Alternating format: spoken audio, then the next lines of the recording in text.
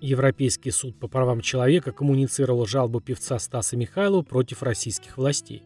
Это означает, что в ближайшее время Российская Федерация получит претензию артиста для ознакомления. Об этом сообщил руководитель международной правозащитной организации «Агора» Павел Чиков. Суд идет!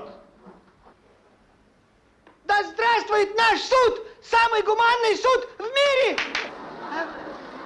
Европейский суд по правам человека коммуницировал жалобу певца Стаса Михайлова против властей России на отказ судов защитить его права на образ, который присвоил себе некий Михаил Стасов.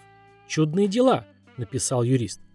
Стас Михайлов пожаловался на действия российских судов после того, как они отказались защищать его права на собственный образ.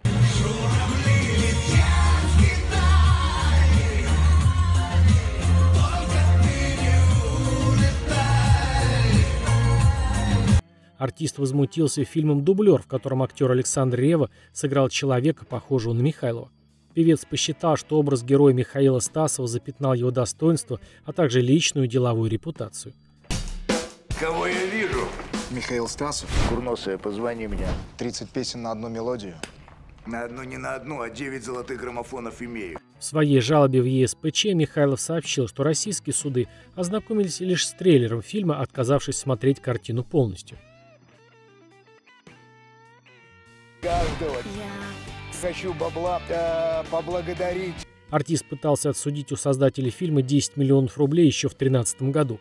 Год спустя он обратился в Европейский суд, который коммуницировал жалобу лишь на днях.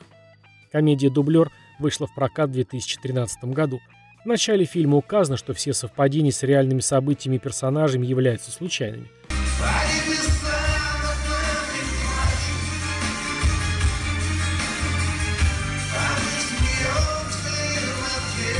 По сюжету артист Михаил Стасов борется с главным героем фильма Игорем Успенским за звание «Человек года».